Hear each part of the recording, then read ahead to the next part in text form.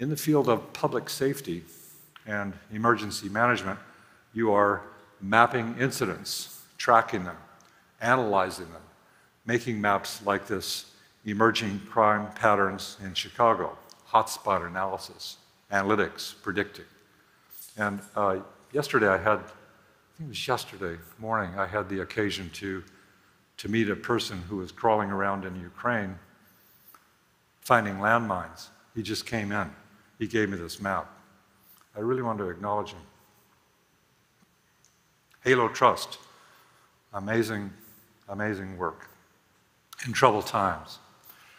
Others are tracking our response to emergencies, like 911 dispatching or firefighter responses.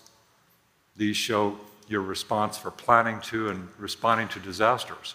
And there are so many heroes here in this room looking at hurricane tracking, collaborating on rescue, and also forecasting what's occurring in our world with fire predictions, drought predictions, flooding predictions, and even sea level rise predictions.